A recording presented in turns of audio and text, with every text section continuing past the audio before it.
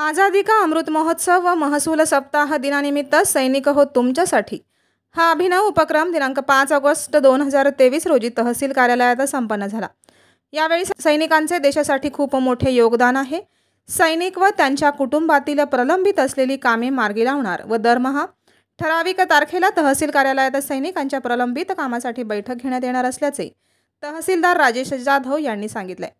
या कार्यक्रमास तहसीलदार राजेश जाधव पोलीस निरीक्षक रमेश वाघ नायब तहसीलदार पी डी गंगनर पेशकार गुलाब शेख एस बी सरोदे सैनिक फेडरेशनचे जिल्हाध्यक्ष तथा राजछत्रपती अकॅडमीचे संचालक ज्ञानेश्वर पाटील डुमणे यांची प्रमुख उपस्थिती होती. तहसीलदार जाधव पुढे म्हणाले की या कार्यक्रमासाठी ज्ञानेश्वर पाटील डुमणे यांनी विशेष मेहनत घेतली असून त्यांच्याच संकल्पनेतून हा कार्यक्रम घडून आलाय. आणि सैनिकांची सेवा करण्याचे भाग्य मला लाभले सैनिकाविषयीची त्यांची तळमळ व धडपड पाहून डुमणे यांचे भरभरून कौतुक केले.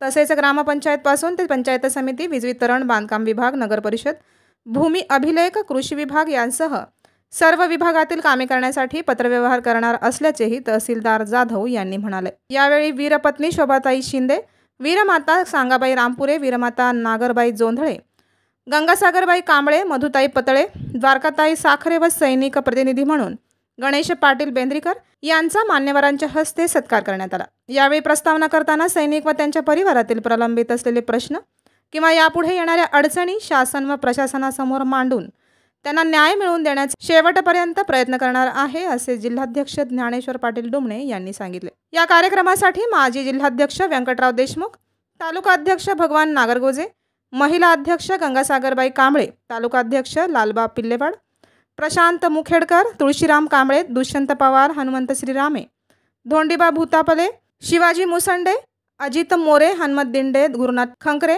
नागराव गुजे अनिल मोरे राजू पवार ज्ञानेश्वर पाळेकर दत्ता गोंसे उत्तम गुंडेकर सुधाकर घोडके वीरपिता संभाजी पानगटवार यांच्यासह अनेक आजी माजी सैनिक व महिला उपस्थित होत्या. या कार्यक्रमात बहात्तर सैनिकांचे प्रलंबित अर्ज आले होते महसूल व इतर संबंधित विभागातील अधिकाऱ्यांना पाठवून. त्यावर तात्काळ कार्यवाही करण्यासाठी तहसीलदार राजेश जाधव यांनी आदेश दिले.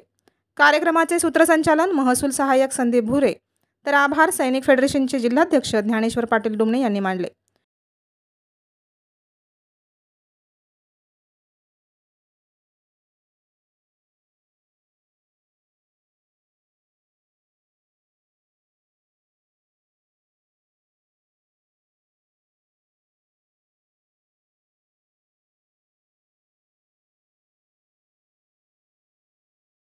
इतर विभाग असेल. अनेक प्रकारचे आमच्या परिवारामध्ये दुःख भोगलंय त्या दुःखाची जाणीव त्या वर्दीची जाणीव शंभर टक्के मला आहे.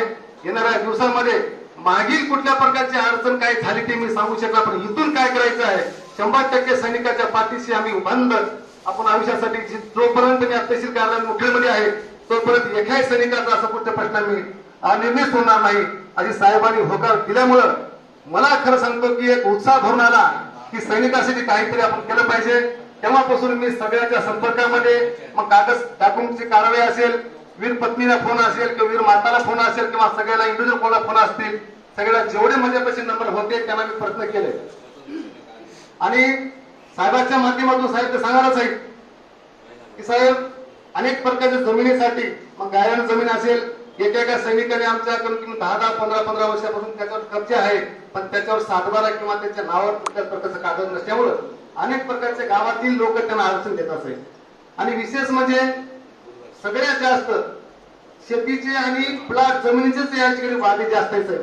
कारण का आमचा सैनिक जास्त काळ युट्यूब असल्यामुळं आणि जमिनी किंवा प्लॉट जमीन किंवा घर असेल इकडं असेल तर आम्ही जास्त वेळ तिकडे असल्यामुळे इकडे वेळ न दिल्यामुळं गावाकडचे काही लोक त्याच्यावर अतिक्रमण किंवा कब्जा करून पुन्हा दादागिरीनं त्यांच्यासोबत त्यांच्यावर गुन्हा दाखल करून अनेक प्रकारचं सैनिकाला अडचण देण्याचा प्रयत्न आपलेच काही गावातलेच लोक केले सर. ते तुमच्या आता निवेदनाच्या मार्फत का अर्जाच्या मार्फतून वाघ साहेबांना तुम्हाला ते भेटणारच आहे आणि दुसरी गोष्ट म्हणजे जर सैनिक आमचा कुठल्या प्रकारे त्यांना जर सांगत असेल थोडं जरी म्हणजे त्यानं पुढच्या व्यक्तीनं काही केलं तरी मान्य आहे. मग ते पोलीस स्टेशन असेल तहसील कार्यालय असेल कुठलंही शासन प्रशासन असेल म्हणजे गावातील लोकांनी काय केलं तर मान्य आहे पण सैनिकांना थोडं जोरा जरी बोललं तरी लोकांना मान्य नाही. आणि सैनिकांची एक बघितल्याचा व्यथा आमच्या समाजामध्ये आमच्या देशामध्ये एक गैरसमज निर्माण झाला आहे.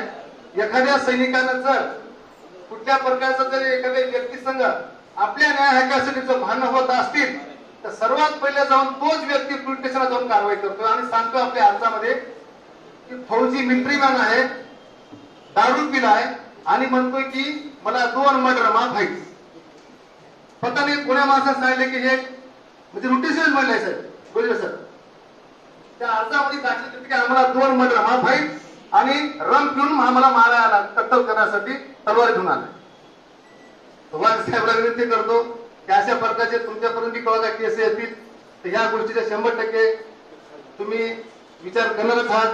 तुमचा स्वभाव मला माहिती आहे.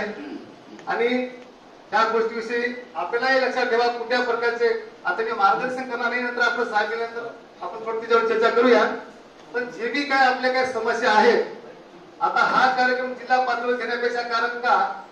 आपल्या जे बी काय समस्या आहेत आपल्या कार्याची दखल घेणारे फक्त तालुक्यात या दरम्यान आपल्याला महाराष्ट्र शासनाकडून महसूल सप्ताहाचं आयोजन करण्याबाबत सूचना होत्या.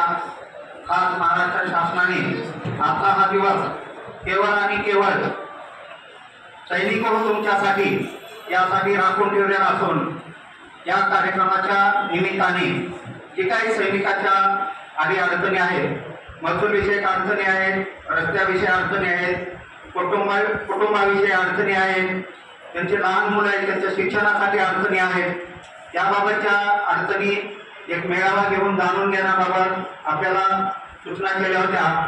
एक चार दिवसापूर्वी आमचे डुमणे साहेबांची भेट झाली आणि त्यांना हा विषय मी सांगितला. साहेब म्हणजे तुम्ही काळजी करू नका. अडचणी खूप आहेत पण आतापर्यंत असा प्रो- असा म्हणजे अडचणीला सामोरा किंवा त्यांच्या अडचणी निराकरण करण्यासाठी कुठलंही व्यासपीठ आमच्याकडे नव्हतं. आम्ही कुठलीही अडचण आली तर जिल्हा सैनिक कार्यालय कार्यालयामध्ये दाद करतो आणि तिथं ते पत्रव्यवहार करत होतो. शासनाचा जरी हा आजचा फक्त एक दिवस असेल तर माझी अशी मनोकामना आहे प्रत्येक महिने महिन्याला आता एक दिवस मी निश्चित करून देत आहे.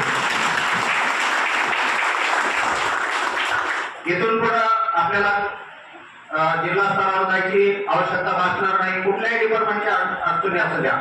पंचायत समिती M S C B court खातं बँक कुठल्याही अडचणी असो आपण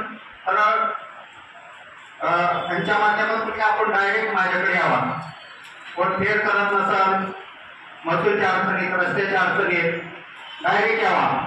आता मनोगत व्यक्त करताना दोन शहीद पत्नीच्या शहीद जवानाच्या पत्नीने अडचणी मांडल्या. वस्तुस्थिती आहे मी खूप जवळून पाहिलेला आहे. माझा मित्र असा शहीद झालेला होता. आणि त्याच्या घरी एवढ्या अडचणी त्या महिलांना अक्षरशः घरातून मुलाबाळाचं हातून दिलेलं होतं. माझ्या शेजारी घर होतं.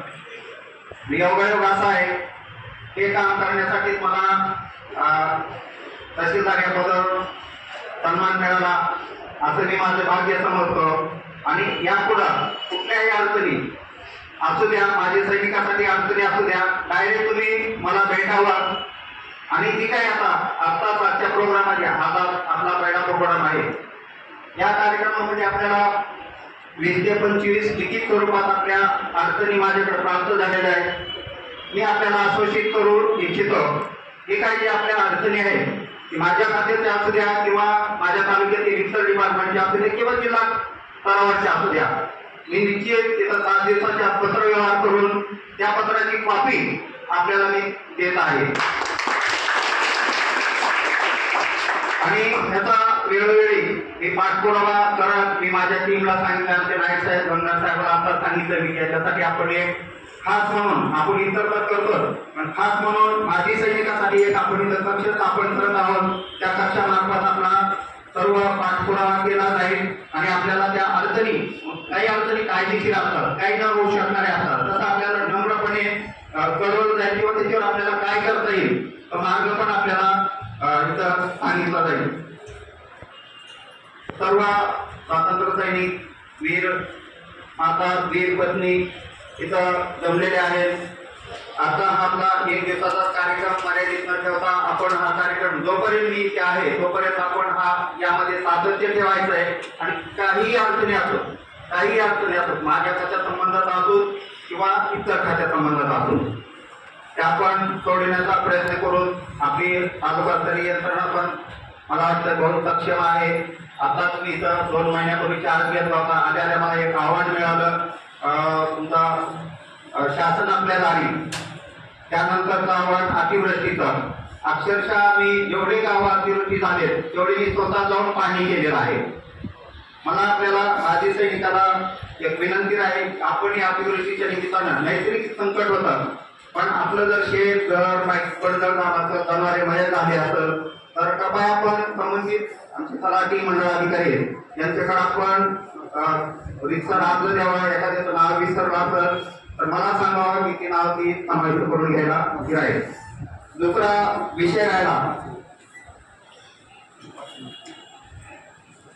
यापुढे आपल्याला काम करताना सर्वांना मिळून आता मी प्रत्येकाची माहिती मी आपल्या मोबाईल नंबरचे डिटेल्स माहिती घेतलेली आहे. आपला पंधरा ऑगस्ट असो सव्वीस जानेवारी असो मला एक आव्हान राहील. या निमित्तानं आपण जर इथं उपस्थित राहिला पत्रिकेची वाट बघू नका.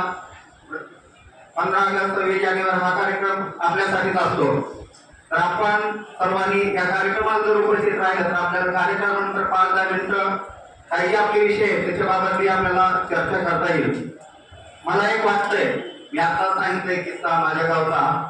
जे काही गावाचे चांगले झालेले जवान आहे त्या जवानाच्या नावानं ते गाव ओळखलं गेलं पाहिजे. असं काहीतरी आपण प्रयत्न करा. तुम्हाला काय ती मदत लागते आम्हाला कागदपत्राची की आम्ही अं, पूर्तता करून जागा बघा तिथं त्या शहीदांचा छोटे खाली पुतळा तुम्हाला जाईल गावाला.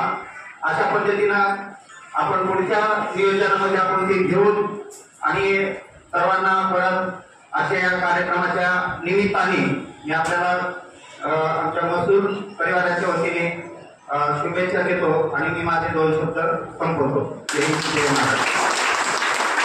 प्रतिनिधी प्रशांत पवित्रेसोबत पुढाकार समाचार. मुखेड नांदेड.